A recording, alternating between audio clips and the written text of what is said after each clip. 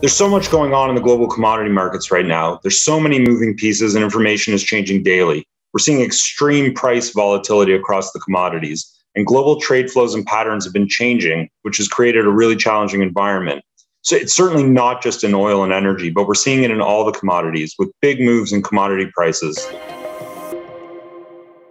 Certainly, front of mind is Russia and Ukraine, which are key producers of a lot of the commodities and suppliers of feedstock for areas of commodity production. So the impact from the invasion and then the sanctions has been really widely felt. Russia accounts for around 10% of global oil production, and they're about 40% of global potash production. And they're critical in a number of other commodities as well, such as nickel, copper, palladium, and coal. And it's not just supply that's driving commodity prices. It's really hard to readjust global trade flows for commodities on supply disruptions. The winners are the commodity producers outside of Eastern Europe who take advantage of the higher prices. The winners are also the buyers who will ignore the sanctions. Clearly, the losers are the producers in Eastern Europe and those that use Russia and Ukraine inputs in their manufacturing process. The losers are also us, the consumers, with inflation. Commodities are at the front end of the supply chain, and higher prices for materials like energy, metal, and fertilizers drives inflation down to us. So, with that background in mind, we'll give a couple of updates on the key commodities. First on oil. So, we've seen the impact in our wallets at the pump. Russia supplies around 10% of the global market.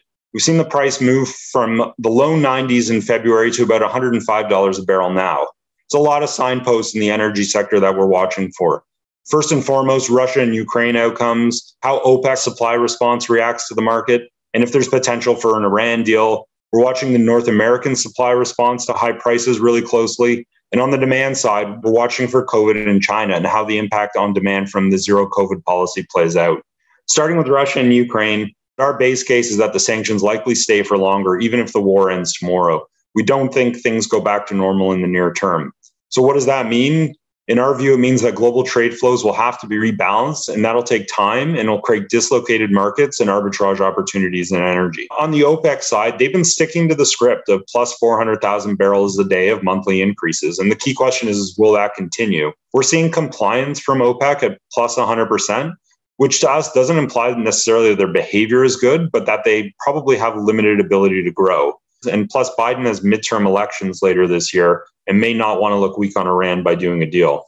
Probably the area where we have the most visibility is on the North American supply response. At the end of the day, if we step back from all the politics, our view is that the oil market is fundamentally tight. We think the price of oil can be supported over the next couple of months, the real wild card that we're watching for is COVID growth in China and the impact that that has on global demand. Next, turning to copper, we're seeing unseasonably low inventory levels into the spring, and that's supportive for the next few months. On the supply side, there are a couple of large scale new projects coming and ramping up now, but there isn't much in the pipeline for development after that. On the demand side, China's in a period of fiscal and monetary loosening, and copper prices are already at elevated levels.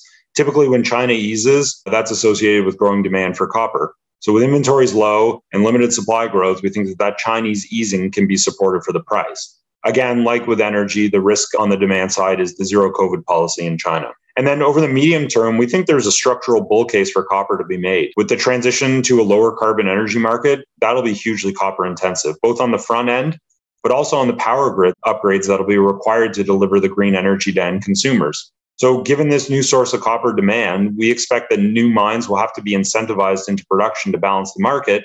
And that should come at a much higher copper price to stimulate exploration and bring the next generations of projects into production.